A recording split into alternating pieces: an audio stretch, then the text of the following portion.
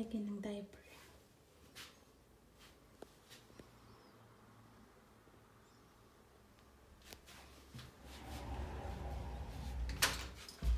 Hindi. Saan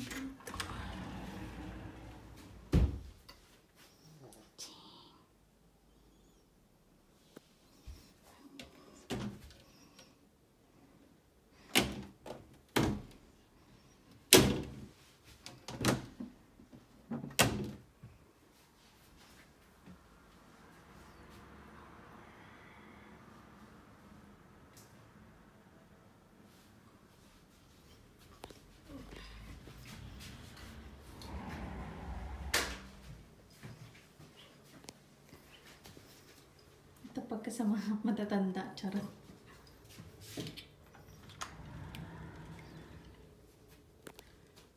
Sino yung magulo, di ba?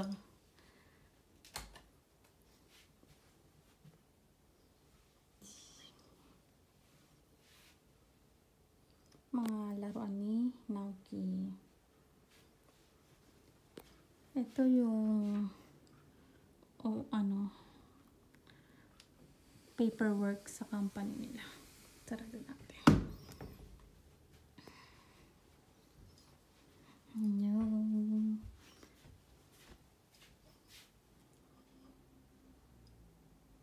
Ang gulo.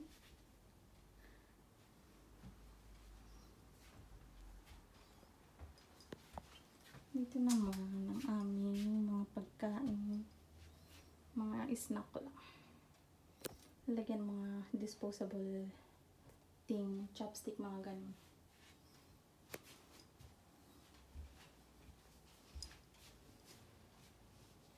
Aming kusina.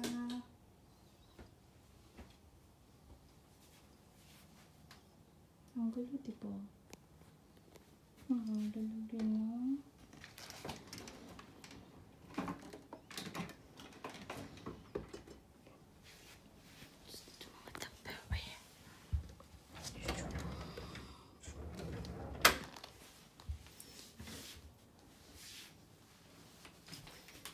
Mga tingin.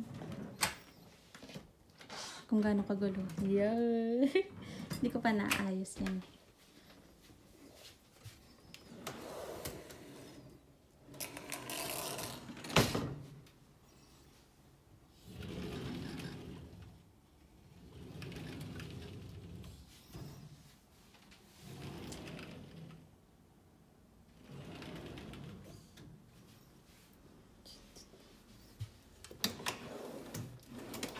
Hanggang baba yan meron.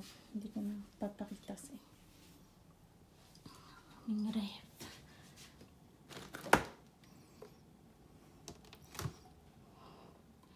Magulo din.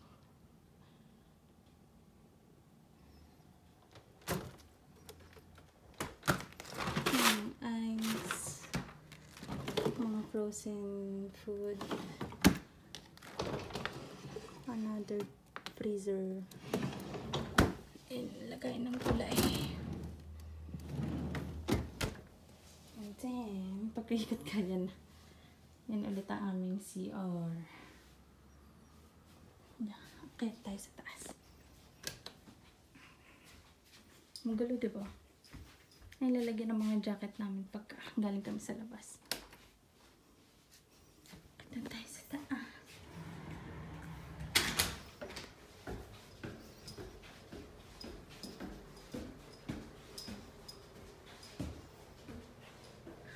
Another hilamusan. Hilamusan. Ingat. Ito. Ito yan, nabubuksan. Hinihingal ako. Buhat ko kasi si Yuna. Another CR. Ang simple lang, no? Ito naman yung room ng mama at papa niya. Ni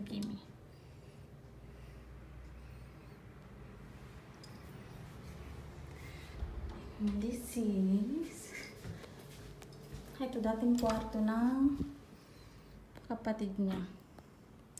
No, ako nilagyan ko na ng mga laruan niya. Naku, kaya ayusin ko pa yun. Gagawin ko na ng playroom nila. Tapos, ayan yung mga gitara ni Kimi. Madami yan actually.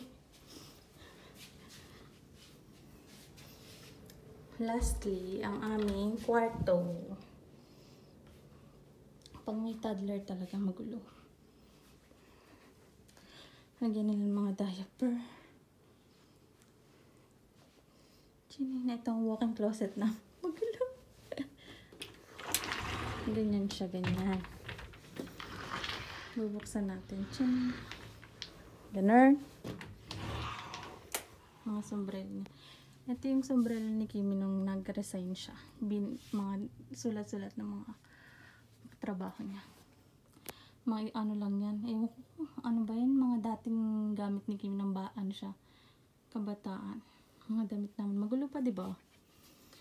Mga bags. Mga jacket-jacket. Ayan din mga CD yan. Napakadaming CD. Pamalit ng bedsheet. Ito yung mga pang summer ni na aking damit. Hindi ko pa naayos. Lalagay ko sa topper. Mga pantulog namin mamaya. Ganun. Sige na. Bye-bye.